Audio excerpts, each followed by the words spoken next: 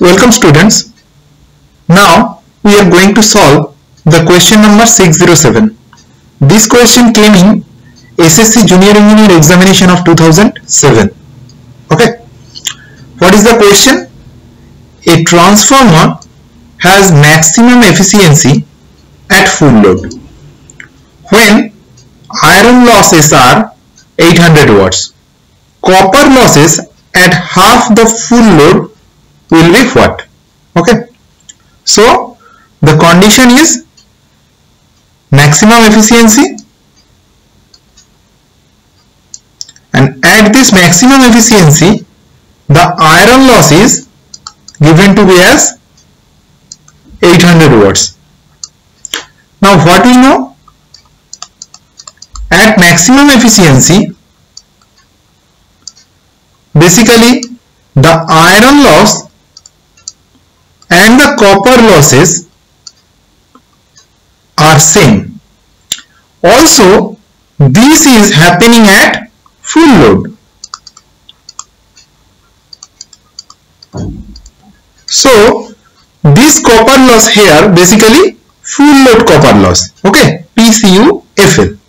So this PCUFL which is the copper loss at full load is equal to 800 watts can also be given by I full load square into R. Where R is taken as the resistance corresponding to the copper loss. Okay? So now we have to find out the copper losses when the transformer is at half the full load. So at half the full load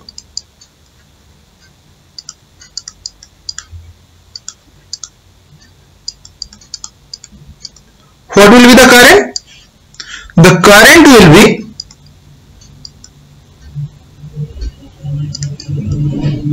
the current will be IFL by 2 okay so definitely at half the full load the copper losses will be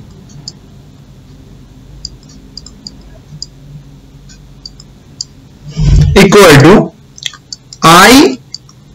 FL by 2 whole square into a because the resistance corresponding to the copper loss basically the same. So this is equal to 1 by 4 into IFL square R.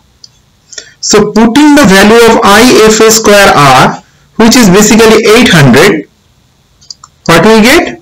1 by 4 into 800 this is equal to 200 watts. Okay. So here the option D is the correct answer. Means 200 watts is the copper losses which is taking place at half the full load for the transformer. So I think the solution to the question is very much clear to all of you. So if you like this video then kindly subscribe to the channel. Thank you. Thanks for watching